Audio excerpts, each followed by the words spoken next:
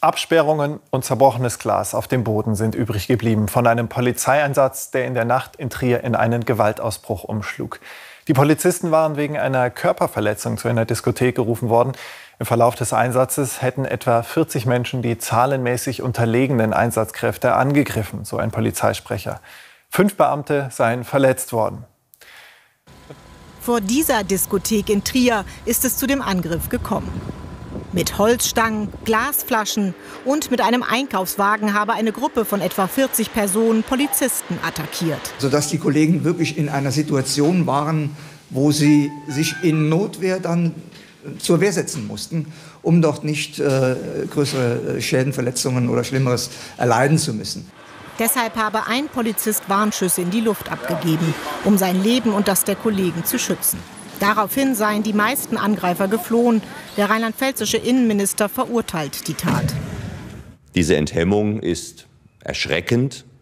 Die Skrupellosigkeit macht auch mich wütend. Und dieser Gewalt werden wir selbstverständlich gegen Polizeibeamtinnen und Polizeibeamte nicht dulden. Die Täter müssen die gesamte Härte auch des Gesetzes zu spüren bekommen. Für die Gewerkschaft der Polizei stehen die Angriffe in einer Reihe mit den Ausschreitungen in der Silvesternacht in mehreren Städten. Schon wieder gruppendynamische Übergriffe auf Uniformträger, das schockiert und es fällt auf, es ist nicht mehr nur an Silvester festzumachen, sondern schlichtweg an Gruppen und deren Umgang mit Uniformträgern. Zwei Personen aus der Angreifergruppe, beide deutsche Staatsbürger aus Trier, waren vorübergehend in Gewahrsam. Die Suche nach weiteren Tatverdächtigen dauert an. Die Polizei ermittelt wegen des Verdachts auf Körperverletzung und wegen Widerstands gegen Vollstreckungsbeamte. Ich spreche dazu nun mit der stellvertretenden Landeschefin der Gewerkschaft der Polizei Rheinland-Pfalz, Stefanie Loth. Guten Abend. Guten Abend. Die Polizei in Trier spricht von einem beispiellosen Gewaltausbruch. Das klingt so, als ob die Polizei dort noch nie solche Gewalt erfahren hätte. Wie außergewöhnlich ist das denn, was da vergangene Nacht in Trier passiert ist? Ja, zuerst mal verurteilen wir diese Gewalt, das Zusammenrotten und das gewalttätige Angreifen aus der Gruppe heraus gegen unsere Kolleginnen und Kollegen auf das Schärfste. Und vorneweg, wir wünschen den Kolleginnen und Kollegen gute Besserung, dass sie bald wieder auf die Beine kommen. Und ja, das ist in der, diesem Ausmaß schon sehr ungewöhnlich, aber tatsächlich reiht es sich ein in eine Kette von mehreren Ereignissen, die wir hatten mittlerweile in Rheinland-Pfalz und auch deutschlandweit.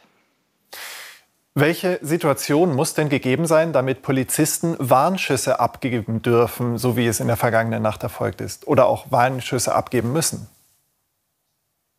Ja, also diese Eisenstangen ähm, und die ganzen Flaschen, die da geflogen sind, das ist schon sehr, sehr bedrohlich gewesen. Die Unterzahl, die wir da vor Ort hatten, das macht dann schon ausreichend hilflos und dann fühlt man sich so bedroht, dass man sich nur noch so wehren kann, dass man eben versucht, ähm, Eindruck zu machen. Und das dürfte der Grund für diese Schüsse gewesen sein. Und wenn man sich 40 Menschen gegenübersteht, die aggressiv sind und aktiv sind mit diesen Werkzeugen, ist man schon in sehr bedrohlicher Situation.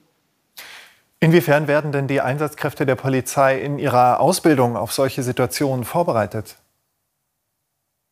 Also es gibt gute Trainings und wir haben das in Rheinland-Pfalz auch nochmal angepasst äh, nach den Geschehnissen in Kusel, in dem, nach dem grausamen Mord. Also da musste man auch nochmal überdenken und auch das hier wird wieder dazu veranlassen, wieder zu überprüfen, anzupassen. Das ist ein stetiger Prozess. Und es wird sehr viel trainiert und das ist auch die Forderung der Gewerkschaft der Polizei, viele Trainingsmöglichkeiten zu schaffen. Also A, weil man auch die Zeit hat, um das Personal das zu tun. Und B, auch um die Trainingsörtlichkeiten geht es uns auch. Die müssen an allen Standorten gut vorhanden sein, auskömmlich, dass wir dort trainieren können.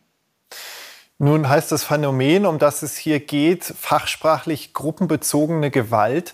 Von welcher Häufigkeit und welcher Intensität von gruppenbezogener Gewalt müssen wir in Deutschland heute denn ausgehen? Das ist, glaube ich, ein Stück weit auch noch zu erforschen und wir wünschen uns dazu einen Expertenrat, den man äh, einrichtet, um ja, Fachwissen zusammenzuholen, Menschen, die in der Gesellschaft stehen oder auch forschen und das zusammenzutun und das zu analysieren. Das wäre ganz wichtig und das auch mal auf den Punkt zu bringen. Was können wir denn da tun? Wir haben das jetzt nach Silvester diskutiert. Wir diskutieren das immer nach Fußballspielen. Ja, Gelegenheiten gibt es genug, aber es gibt jetzt auch mal endlich die, äh, den Druck, dass wir auch davon ausgehen, dass sich die Politik jetzt auch so intensiv damit befasst, auch etwas, auch ein paar Schlüsse draus zu ziehen. Und das ist jetzt nicht nur die Anschaffung eines Hilfsmittels, was weiß ich, mehr Bodycams oder so, sondern sich konkret damit zusammenzusetzen und damit etwas Neues auf den Weg zu bringen. Das erhoffen wir uns jetzt. Wie steht es denn um die Akzeptanz der Autorität der Polizei in unserer Gesellschaft?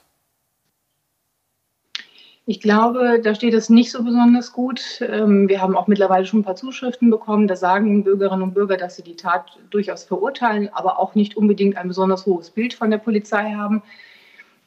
Nun, jeder hat so sein eigenes Bild, aber insgesamt stellen wir fest, die Respektlosigkeiten nehmen zu uns gegenüber. Das Gewaltpotenzial hat sich schon auf einem relativ hohen Level eingependelt, was nicht gut ist. Statistisch lässt sich das relativ schlecht vergleichen mit den letzten zwei Jahren, weil während Corona Dinge einfach nur mal anders waren, es weniger Gelegenheiten gab zu feiern, zusammenzukommen. Aber die Zahlen sind trotzdem ansteigend und haben sich hoch äh, eingependelt und das ist überhaupt kein gutes Zeichen. Ich glaube, das können Ihnen auch andere Berufsgruppen so schildern, wir aber auf jeden Fall und das zeigt, dass Polizei, Polizistin sein, Polizist sein ein ganz besonderer Beruf ist und besondere Gefahren und Risiken mit sich bringt.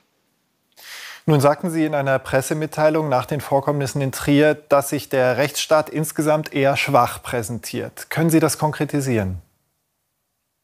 Also es gibt verschiedene Bereiche und äh, das ist oft dann, wenn jetzt auch hier von der Härte des Gesetzes gesprochen wird, das hat auch was mit Schnelligkeit zu tun. Also die Gesetze, die wir haben, auch schnell umsetzen zu können. Also ich erwarte mir, dass man auch unter einem Jahr eine Anklageerhebung erfolgt und das ist sowohl für Polizei sehr anspruchsvoll als auch für die Justiz, das schnell zur Anklage zu bringen, das zum einen zu ermitteln. Das braucht unheimlich viel Aufwand und Personalintensität.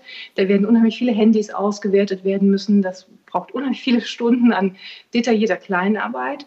Und auch bei der Justiz wird das so sein, bis die Akten dort sind. Aber ab da wird es auch so sein, dass die auch eine gewisse Zeit brauchen, um das, diesen Vorgang zur Anklage zu bringen. Und hinterher, ja, es endet mit dem Strafvollzug. Auch da ist die Personalsituation nicht die beste. Also überall muss auch mehr Personal rein. Das sagt die stellvertretende Landeschefin der Gewerkschaft der Polizei Rheinland-Pfalz, Stefanie Loth. Vielen Dank. Ich danke Ihnen auch.